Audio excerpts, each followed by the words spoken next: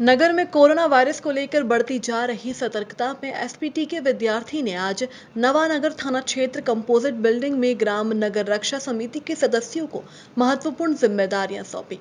SP Shri विद्यार्थी ने सदस्यों को बताया कि मोहल्ला बचेगा तो शहर बचेगा और शहर बचेगा तो देश बचेगा।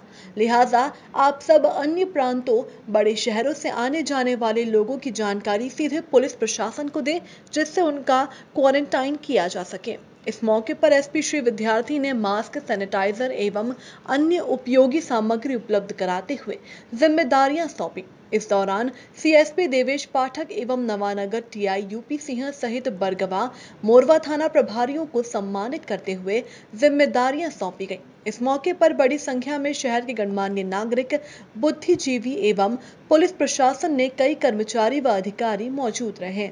सिंगरौली से अनिल कुमार दुबे की रिपोर्ट।